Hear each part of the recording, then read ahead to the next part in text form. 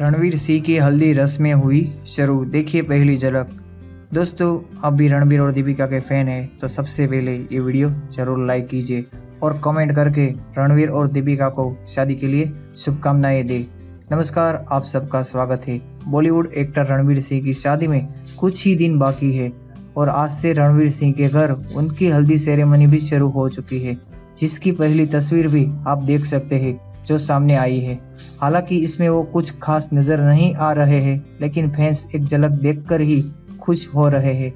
आप भी देख सकते हैं रणवीर की ये तस्वीरें। बता दें, इसी महीने दीपिका पादुकोण के साथ रणवीर की शादी होने वाली है। ये शादी 14 और 15 नवंबर को होगी, जिसके कार्यक्रम शुरू हो चुके हैं।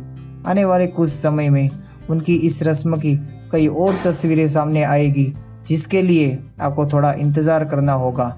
इसी महीने दोनों साथ फेरे लेने वाले हैं और हमेशा के लिए एक दूसरे के हो जाएँगे। हाल ही में दोनों ने सोशल मीडिया पर शादी की तारीख का खुलासा किया था, जिसका कार्ड भी उन्होंने फैंस के साथ शेयर किया था। जैसा कि आप जानते हैं, दोनों इटली के लेक कोमो में शादी करने वाले हैं। दोनों की शादी की सारी रस्में भारत में ही संपन्न होने वाली है।